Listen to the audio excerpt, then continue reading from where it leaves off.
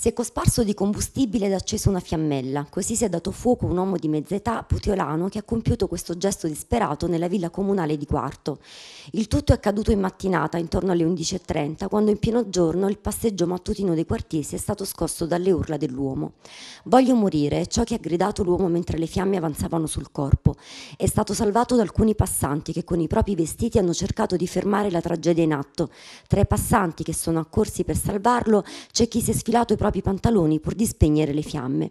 Problemi economici. L'uomo 65enne gestiva una ditta di pulizia ed ora è in pensione. Voleva farla finita.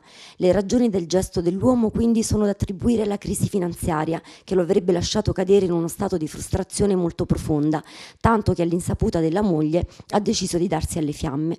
Il tempo continuava a scorrere, l'ambulanza è arrivata in villa tempestivamente. Sul posto sono poi intervenuti gli agenti della polizia municipale e i carabinieri della della tenenza di quarto della compagnia di Pozzuoli.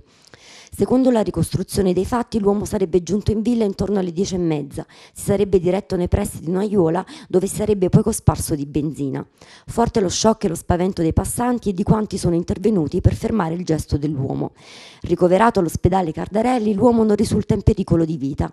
I medici gli stanno curando le ustioni provocate dal carburante che si è gettato addosso e poi dato alle fiamme con un accendino, localizzato in special modo agli arti inferiori. истории.